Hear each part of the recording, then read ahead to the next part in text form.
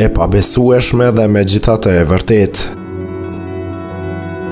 Një program televiziv i televizionit publik italian RAI, i cili trajton rastet e personave të zhdukur, gjeti një person. Italiani Adamo Guerra, 55 vjeç, ishte zhdukur 10 vjet më parë duke i lënë prindërve të tij një letër në të cilën thuhej se do t'i jepte fund jetës. Përshëndetje mami dhe babi, nuk kam shumë fjalë për t'ju thënë, por fatkeqësisht gjëra gjithmonë shkonin keq. Unë do të përpiqem ta bëj këtë hap të fundit në mënyrën e duhur që ju të mos përjetoni dhimbjen e funeralit tim. Ka ardhur koha për t'i dhënë fund jetës, kishte shkruar ai në letrën e tij.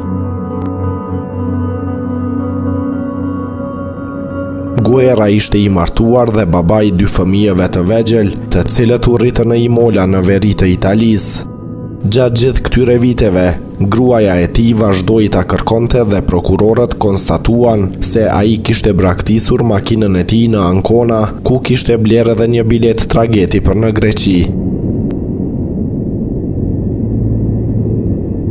Tani tetë vjet pas depozitimit të çështjes, një emisar i programit të televizionit publik italian Rai e gjeti burrin të gjallë dhe krejtësisht të shëndetshëm në Patras. Ku duket se jeton përgjithmonë.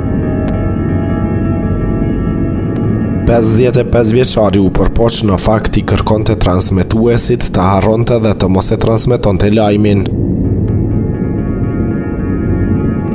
Gruaja e tij e pa videon dhe e njohu atë dhe pavarësisht habisë dhe trishtimit të saj, falënderoi transmetuesit investigativ. Nuk është burrë, nuk është baba, ka komentuar ajo në mënyrë karakteristike. Sipas informacioneve, së fundmi Guerra kishte kërkuar me aplikimin e tij që të regjistrohej në regjistrat e shtetasve italianë me banim të përhershëm jashtë vendit.